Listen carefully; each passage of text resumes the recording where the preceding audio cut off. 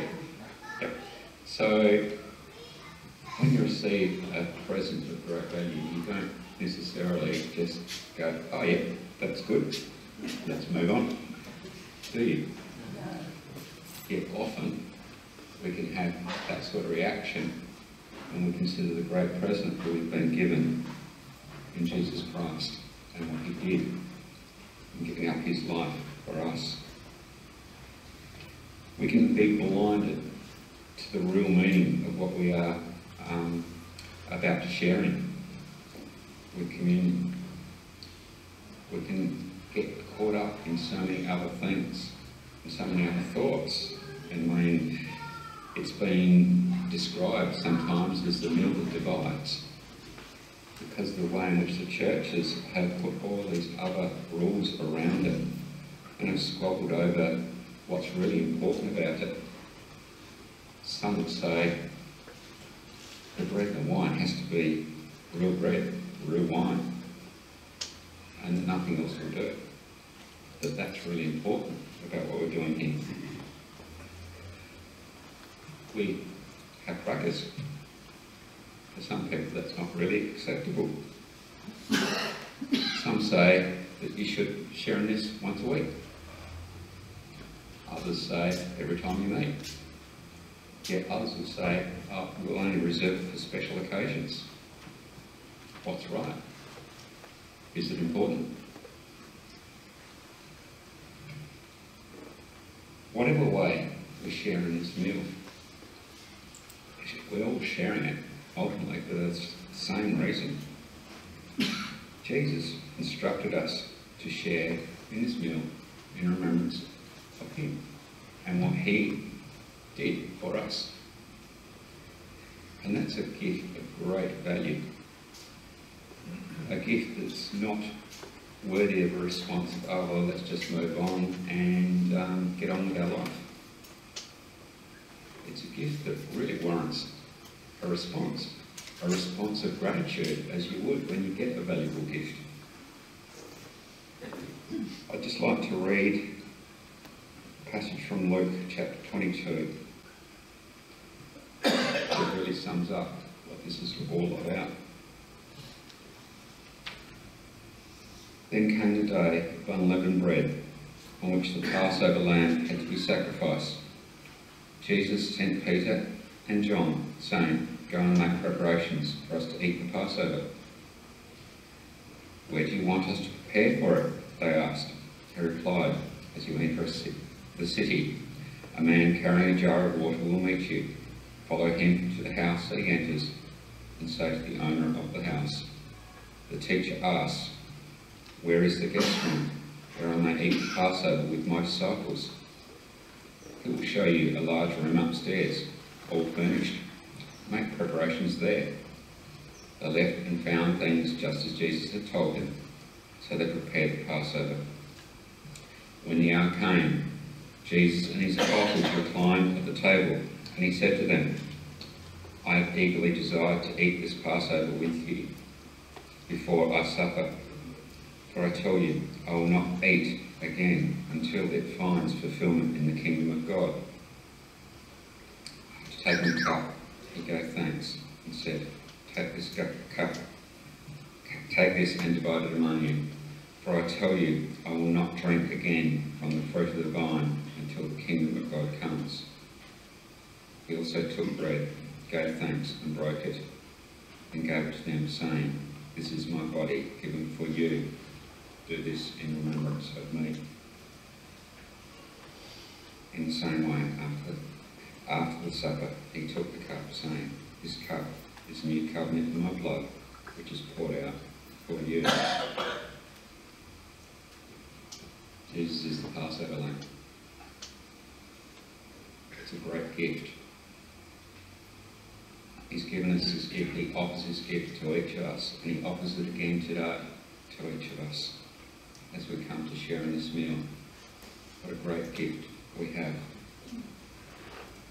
What a fantastic gift that He has given us, that our sin may be forgiven so that we may have life and life eternally. Let's just take a moment to individually reflect on that gift. Reflect on what Jesus has done on that cross for you so that your sins may be forgiven in the life that is given. And let's give thanks to God.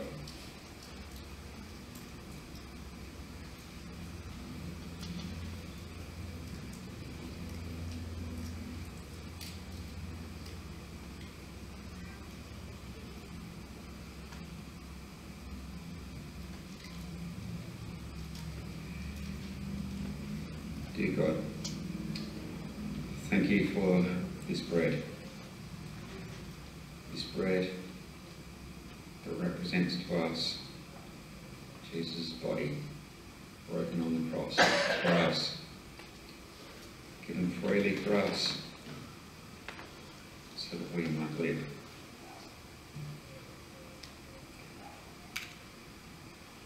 The Lord Jesus, on the night he was betrayed, took bread, and when he had given thanks, he broke it and said, This is my body, which is for you.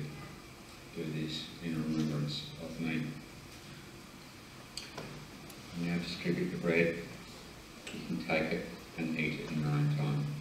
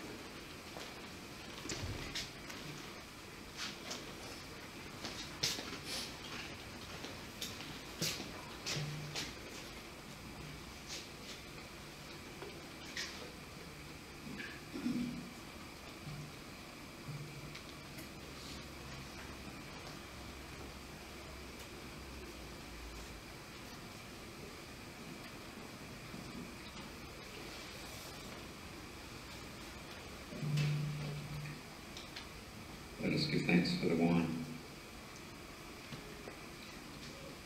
Dear Lord God, we thank you for this wine, this wine that reminds us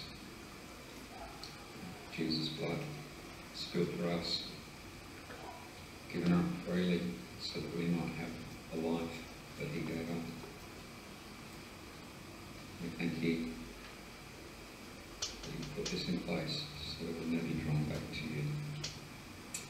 Amen.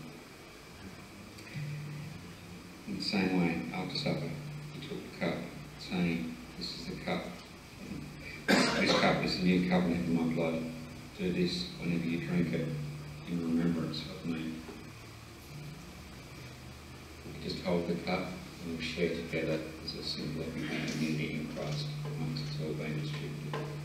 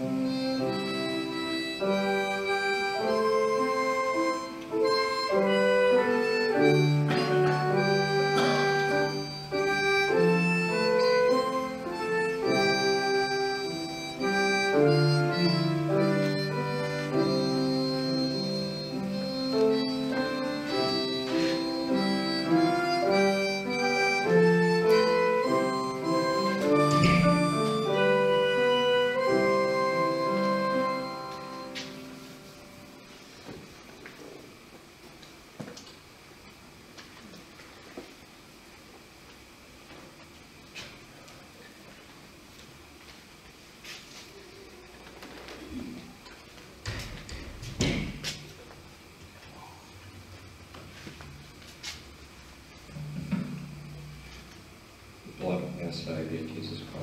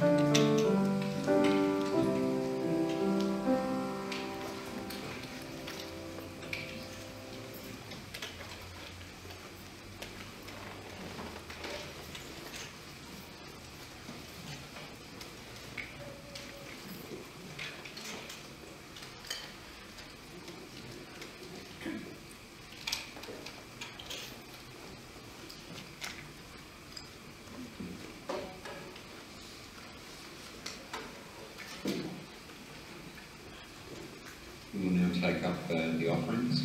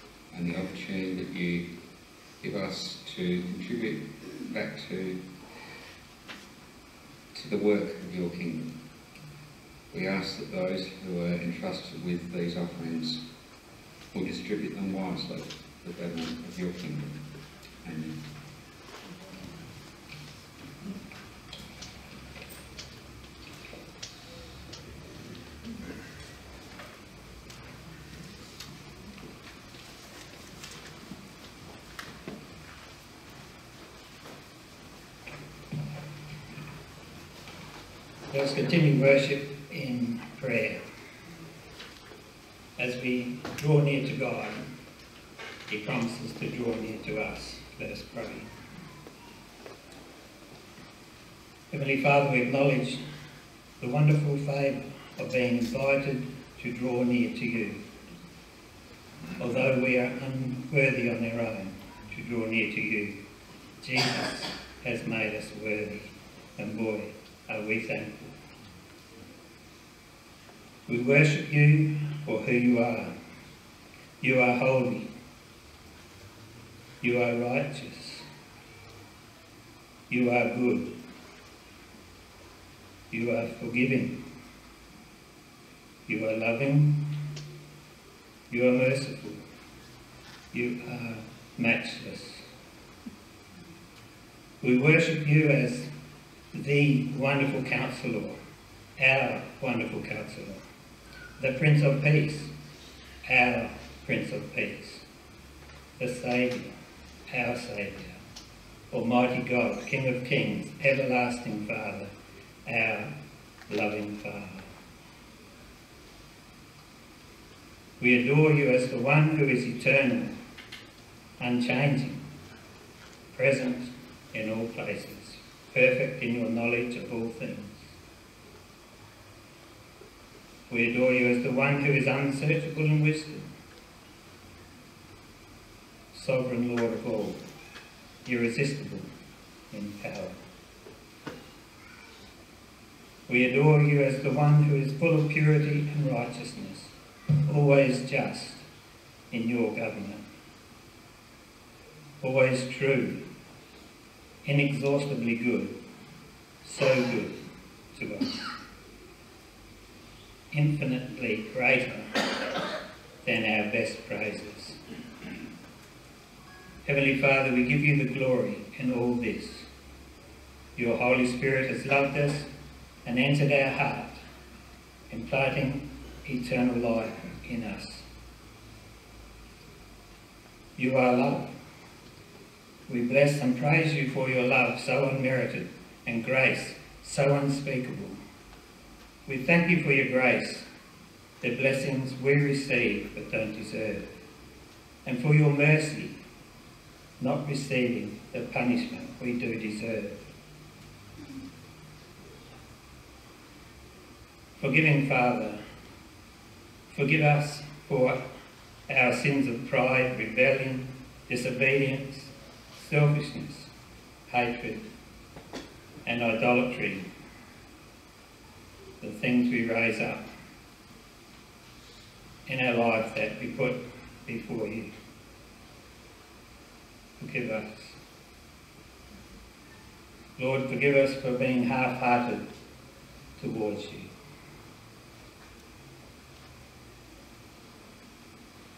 Forgive us if we have disrespected your name or treated you irreverently.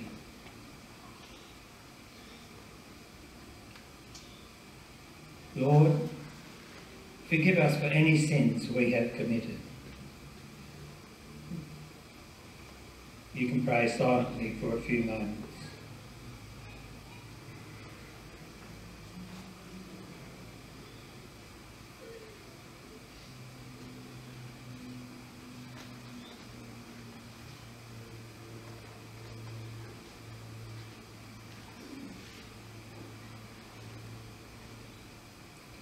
Holy Spirit, remind us of all those we need to forgive and help us to be quick to forgive. As for each of us, Holy Spirit, bring to remembrance those we need to forgive. Let's take a moment and ask the Holy Spirit to show you names or faces of people that you might need to forgive. And as he shows you, say quietly, I forgive so and so. When you get home, say it out loud to show yourself you're serious. We'll pause as we seek the Lord to bring us in tune with him as we forgive others.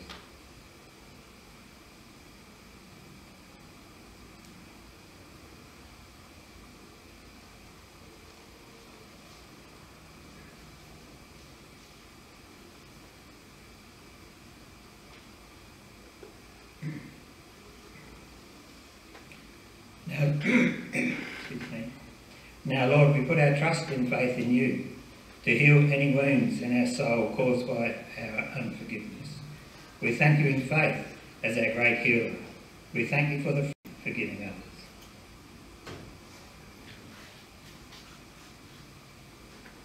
Holy Spirit, help us all not to yield to temptation, but deliver us from the evil one.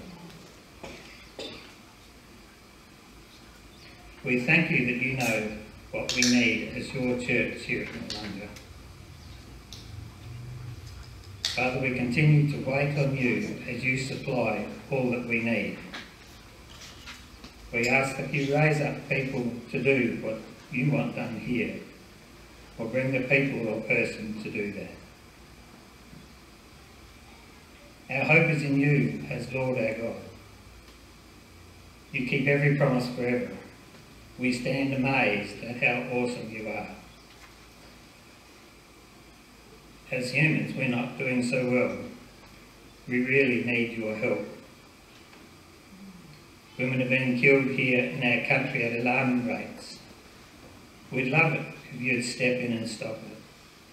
But you've given us choices, and many don't make good choices. So, Lord, we ask that you'd cause governments to make laws that will deter such behaviour and protect women and children.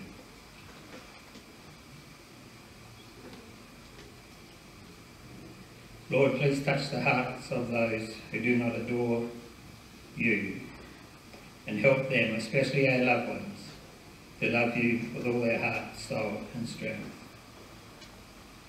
Help us to be a thankful congregation who reflect your glory by the way we live our lives. Holy Spirit, help us to always be mindful of your presence in our daily lives and help us to be quick to respond when you quicken us to action. Lord God Almighty, you reign. Great and marvellous are your works. Just and true are your ways. We love you, we honour you, we glorify your name. You alone are holy. In Jesus' name we pray. Amen.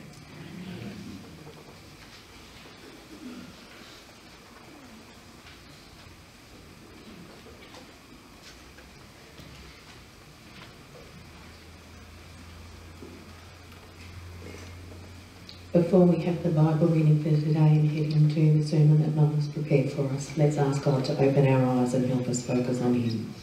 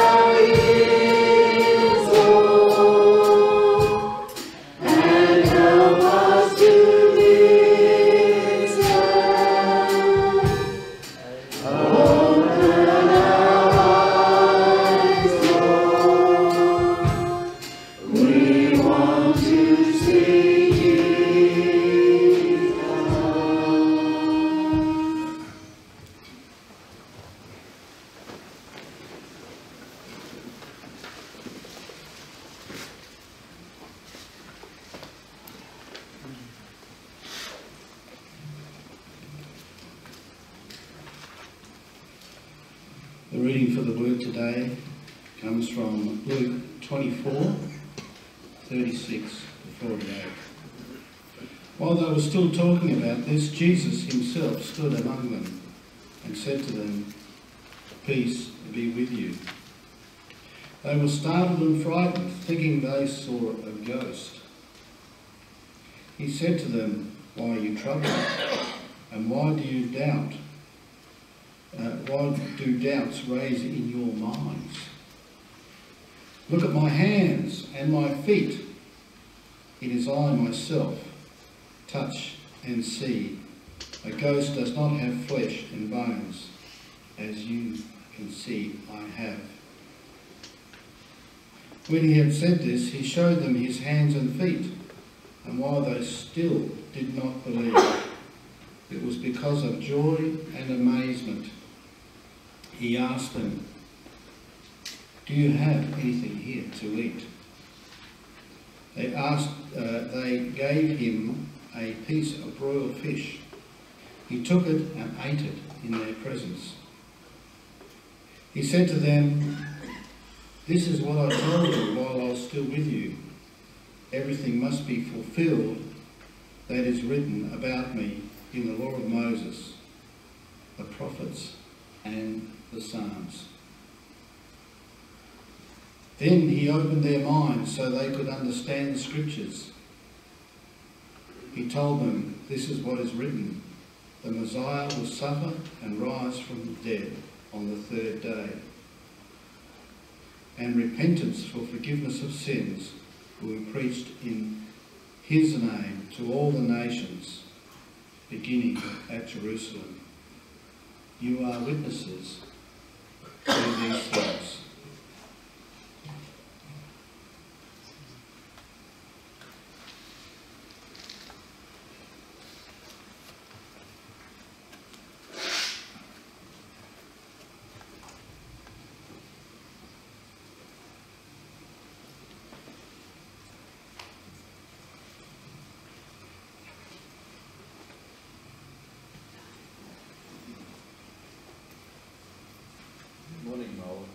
I was just going to say good morning, everybody, and I got beaten. Thank you, thank you.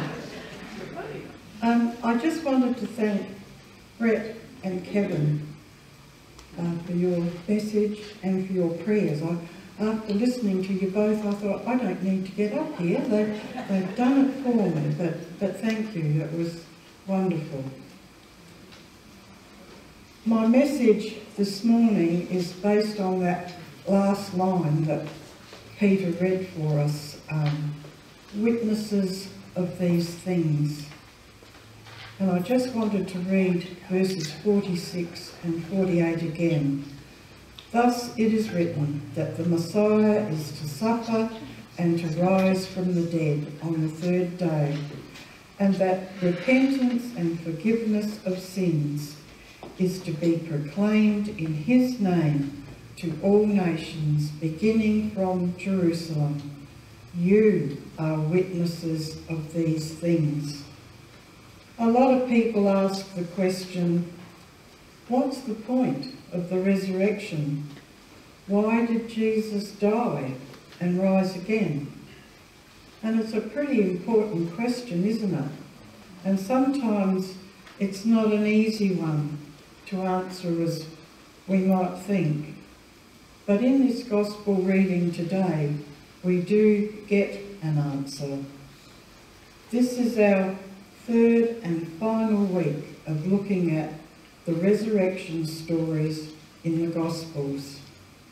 Last week, the reading was from John 20, and that was when Jesus came to the disciples in the locked room, but Thomas wasn't there, and Thomas doubted that Jesus was alive. And we all know that Jesus came to Thomas and said, Here are my hands, here are my feet. But today we're looking at the resurrection from Luke's Gospel. And in both cases, in the reading from John and in Luke today, Jesus comes to his disciples after being raised from the dead and he offers them his peace. And I thought, that's wonderful, isn't it? The first thing he said was, peace be with you.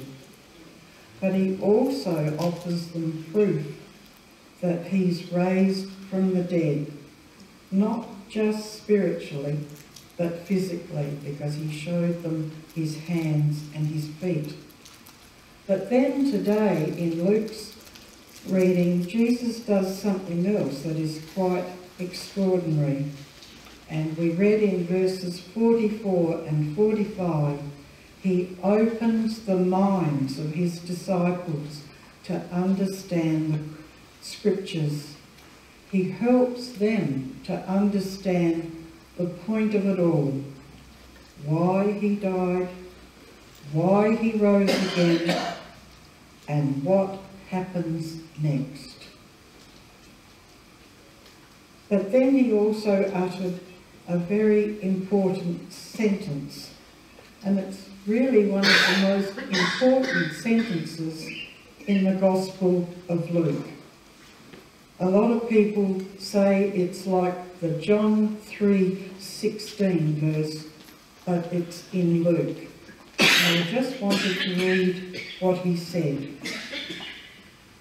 Thus it is written that the Messiah is to suffer and to rise from the dead on the third day, and that repentance and forgiveness of sins is to be proclaimed in his name to all nations, beginning from Jerusalem. You are witnesses of these things. So what is he actually saying in this very important sentence? There's three points that I want us to look at this morning. And the first point is the Messiah, who was Jesus, is to suffer and to rise from the dead. And that's the first thing Jesus says, that the Messiah had to suffer and to rise from the dead. There was no other way.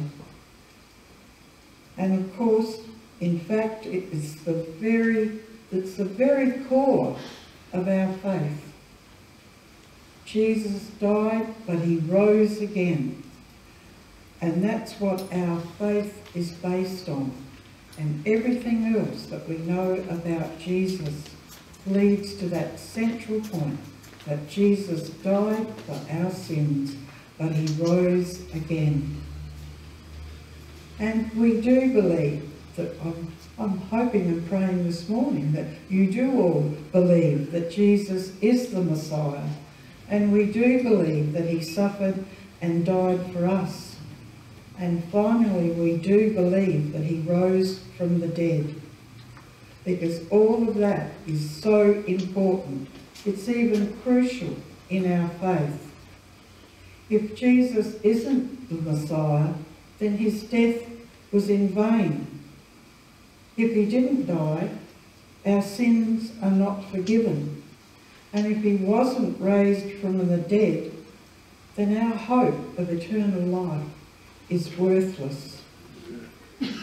But then we also noted that Jesus, he rose spiritually, but he also rose physically. And that is why when he went to see his disciples, he asked them to touch him. And then he asked them for that something to eat because he was hungry. And they gave him the broiled fish and he ate it in their presence. And that was to show them that not only was he raised spiritually, he was raised physically. And you know, one day we too, we're going to be raised up too. One day, whether we are dead or when Jesus comes again, which we're all waiting for, we are going to be raised up with God and Jesus for eternity. Somebody wrote, think of that, that your body already contains in it the seed of eternity. And I didn't think about that. But when we believe in Jesus, we're already carrying that small seed of eternity in our hearts because that's where we're going. So while we're here on earth, we're carrying that small seed of eternity around with us. And I thought that's pretty amazing because it's something I'd never thought of. And our second point was repentance and forgiveness of sins is to be proclaimed. And our second point, key point that now repentance and forgiveness of sins is to be proclaimed in his name to all nations. And Jesus is pretty clear about that message. We, that's our role here today as Christians, to proclaim to others about repentance and forgiveness of sins. And when we accept Jesus as our Saviour, it's not a promise of wealth and happiness. It's also not a promise of good health or the perfect relationships. I loved your prayer about that. And it's not a promise that we can do whatever we want or believe whatever we want. No, what Jesus does promise is the forgiveness of sins in his name, and he invites us to repent and believe this. And I'm praying today that each one of us have done that. It simply means that believing and but that by receiving this message and believing Jesus to be our Saviour and accepting his gift of forgiveness of our sins in his name, he requires us to turn from whatever it is that we are putting our hope in and turn to him. And when we do that, it changes us. How could it not? Our lives will never be the same when we let the risen Christ into it. When you believe that Jesus died for your sins and rose from the dead and is present in our lives, and he is right now, we're changed forever. And it also changes how we look at other things other things lose their importance because we are putting Christ first in our lives. And so the third point is you are witnesses of these things. And when you have done this, Jesus has, when we've repented and forgiven and accepted him, he's got one more mission for us and that was the last part of his instruction in this verse in Luke. And it's our third key point. You are called to be witnesses of these things. We're called to bear witness to the good news of the resurrection. You and I are called to go forth out into that lost, sad, lonely world and tell those people that are suffering so much out there who and what can change their life, how Jesus can come into their life, give them the hope and the love and the peace that so many people out there are looking for and can't find. The Olympic Games are being held in Paris from the 26th of July to the 11th of August. And there's going to be over 10,500 athletes from 206 countries taking part. There's going to be 339 medal events, with each event's winner receiving a gold medal, the second a silver, and the third a bronze. So it's only going to be the best of the best who is going to win those medals. But there's going to be over 10,000 other athletes giving of their best, doing the best they can to prove what they can do in their sports. Baron Pierre de Coubertin expressed it in the Olympic Creed, and I just wanted to read that.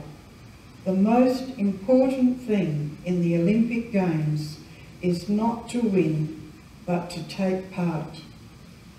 Just as the most important thing in life is not the triumph, but the struggle. The essential thing is not to have conquered, but to have fought well.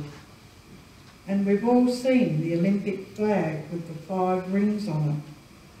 And those five rings represent the inhabitant, the inhabited, sorry, continents of the world. Africa, the Americas, Asia, Europe and Oceania. When we look at the gospel message today, it is going out to these five inhabited continents all around the world. We see the amazing internet, satellites, mobile services. Most people in the world seem to have a mobile phone. And God's message is going out through all of these things. So why am I talking about the Olympic Games, you're wondering? Because Jesus has asked each one of us to be witnesses of these things. We are his witnesses here on earth, on earth. And he wants us, wherever we are, whoever we meet, whoever we interact with, whoever we socialise, we need to say who Jesus is, how he is the Son of God who came to earth to live and die on a cross to save all mankind from their sins. But hallelujah, he defeated death and rose to life and is now at the right hand of God, mediating for all mankind. Like the Olympic athletes, we all have a part and a role to play. God will and he has used mighty people.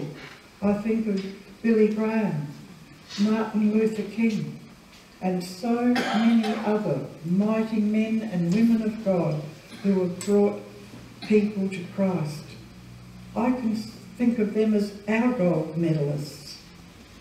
But we, you and I, we're like those thousands of other athletes who strive to do the best they can and give of their best. And that's what Jesus wants us to do. Just be like them, to give and do the best we can as we witness for Jesus Christ. Do you wonder how we're going to do this? There's a perfect example. I'd like you to go home and it's listed on your newsletter to read Acts 3, verses 12 to 19, because there Peter gives a sermon. He and John had just healed a crippled beggar, and the crowd is so surprised that Peter says to them, Don't be surprised by this, for it is done in the name of Jesus. And then he says to them, You killed the author of life, whom God raised from the dead. To this we are witnesses. Now, friends, I know that you acted in ignorance, but in this way God fulfilled what he had foretold through all the prophets that his Messiah would suffer. Repent therefore and turn to God, so that your sins may be wiped out in those few short, sharp sentences. Peter gave that great sermon. Nothing fancy, just plain, the plain truth.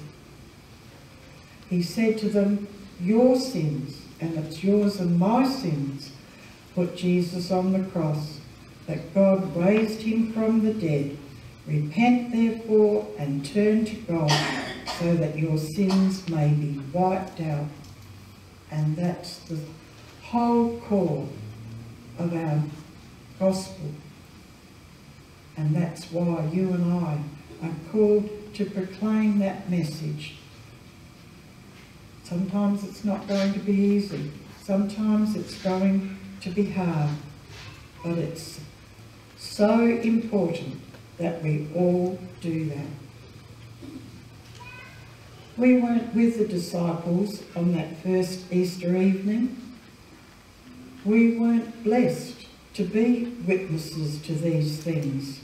We didn't see the risen Jesus. We didn't touch him. And we didn't have him to open our minds to the scriptures. But those first disciples shared what they learned. They opened the minds of others.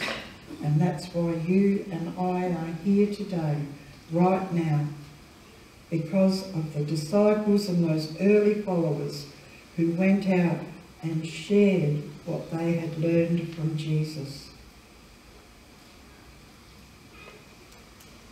So we are invited to go and bear witness to these things, to proclaim this message.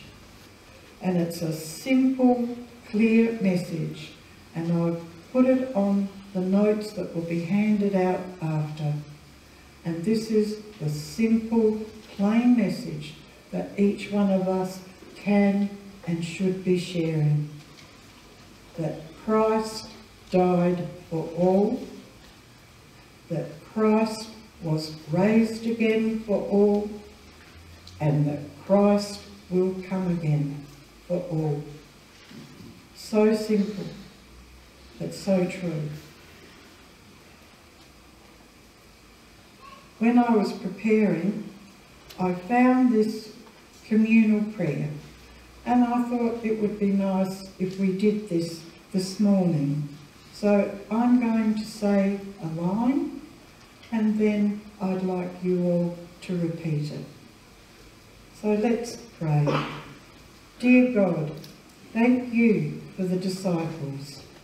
Dear God, thank you for the disciples who shared everything.